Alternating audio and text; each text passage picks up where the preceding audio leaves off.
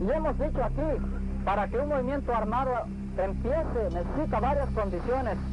Que haya pobreza, que haya orientación revolucionaria, que haya un mal gobierno,